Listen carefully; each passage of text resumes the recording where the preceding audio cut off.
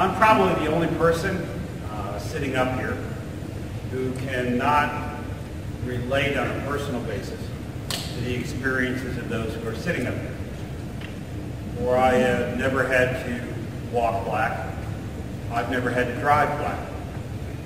I've never had to face the things that they face. I've defend people that have, but I've never had to do it myself.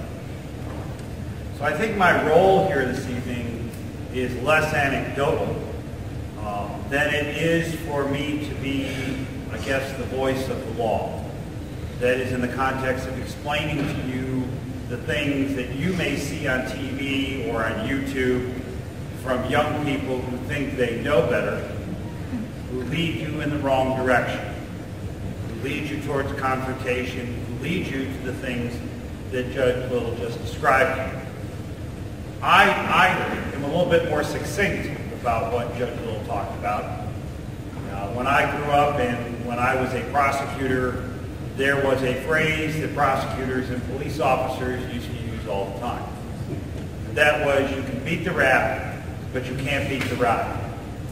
And that simply means that you may ultimately be successful in court, but that is not going to stop you from being in the back of a police car, and that is not going to stop you from being booked, and you're going to get the ride to jail. So I always tell people, and I think my law students have heard me use that phrase before, and they've heard me say that you will never convince, you can never win a street argument with a police officer. That just is not going to happen.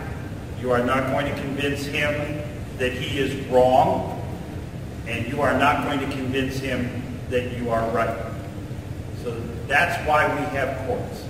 That's why we have prosecutors and defense attorneys and judges to make those decisions. So what Judge Little says to you is you don't argue, don't be confrontational. That's probably the best statement that you have heard or will hear today is that you cannot win on the street.